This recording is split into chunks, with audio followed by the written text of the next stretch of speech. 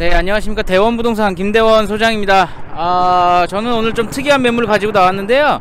뭐 맨날 전원주택 혹은 전원주택 부지 예, 이런 것만 좀 소개를 많이 시켜 드렸는데 오늘은 어, 좀 어, 넓은 토지에 그런 창고 건물이 있는 그런 매물을 좀 가지고 나왔습니다. 네 진입로도 굉장히 좋고요. 또 입지도 굉장히 좋은 예, 그런 창고 건물입니다.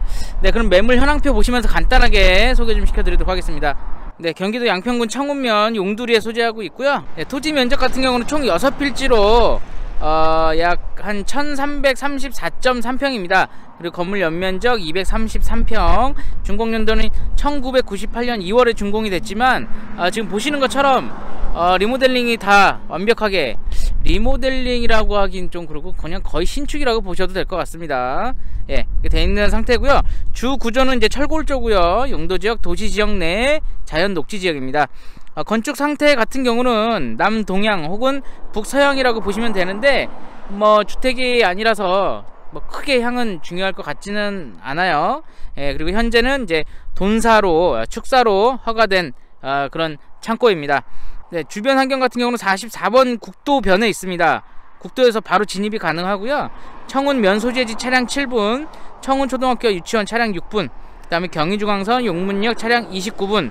네, 용문역은 사실상 별 의미가 없죠. 그렇게 보시면 될 것 같고 가장 핵심은 44번 국도에서 바로 진입이 가능하다라는 부분입니다. 네, 그럼 본 매물 진입로부터 한번 또 보도록 하겠습니다.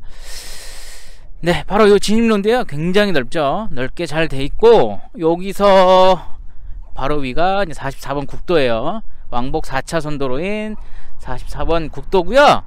음, 여기서 이렇게 바로 보시면 진입을 할 수가 있습니다. 이렇게 진입을 하시면 되시고요. 또 가장 좋은 게, 어, 이 매물이 1334평 정도 되는데, 국유지 도로 부분을 또 공짜 땅으로 쓸 수 있는 게 또 한 꽤 많이, 예, 뭐 한 300평 가량 쓸 수 있는 부지가 또 있습니다. 예, 그 부분까지 하면 뭐 1600평이 넘는 토지를 사용한다고 보시면 될 것 같아요. 이 초입, 진입로 초입도 어, 국어 국어와 국유지 도로로 예, 혼합 혼재되어 있고요. 좌측에 이쪽 부분 지금 이렇게 보시면 이쪽 부분도 아 정확히 이제 지적상 어떻게 되는지는 좀 봐야 되겠, 지만요 상당 부분 다 국유지 도로로 돼 있습니다. 예, 돼 있고 이 밑에 이제 터널도 이렇게 통과할 수 있게끔 도보로 갈 수 있게끔 이렇게 돼 있고요. 여기도 석축 작업까지 다 해 놓으셨네요. 펜스 작업도 돼 있고요. 하여튼 전반적으로 엄청나게 넓은 토지를 쓸 수 있고요.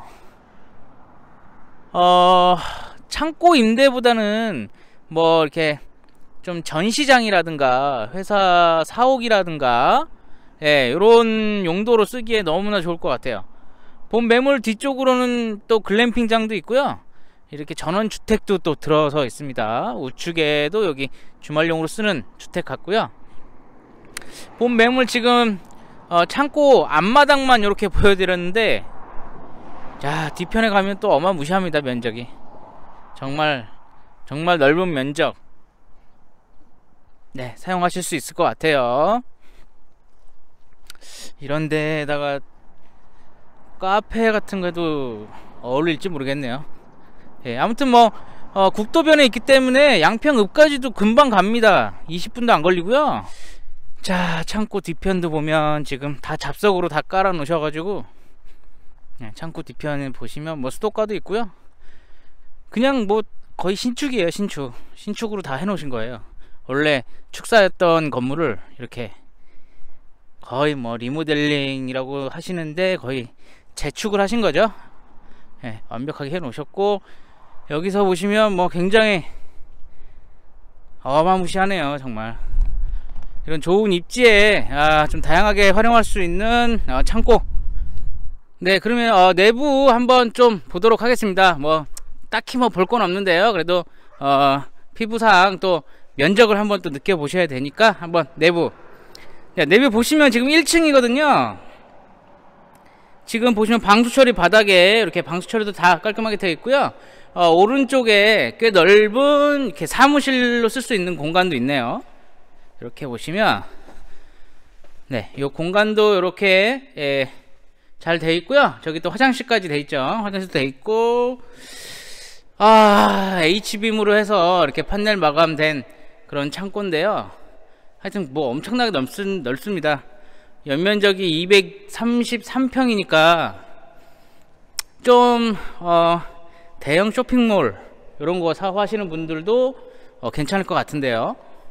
네, 1층 면적이 어떻게 좀 피부에 와 닿으시는지 모르겠네요. 1층이었고요. 또 2층도 있으니까 2층 한번 올라가 보도록 하겠습니다.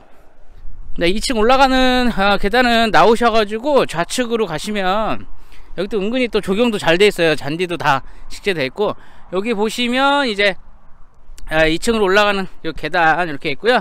철제 계단으로 해놨고요.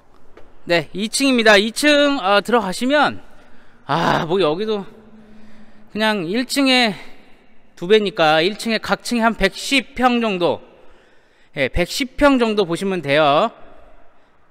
층당 전용 면적이 110평 정도 이렇게 보시면 되고요. 아, 제가 불을 안 켰네요. 네, 이렇게 불 켰는데 층당 한 110평 그리고 나머지는 사무실 네, 이렇게 한 15에서 20평 정도는 사무실로 쓰고 있다고 보시면 될 것 같고 네, 1층과 2층 또한 200평이 넘는 이런 창고 시설 네, 이렇게 되어 있습니다. 네, 오늘 소개시켜드린 매물 어떻게 잘 보셨는지 모르겠네요.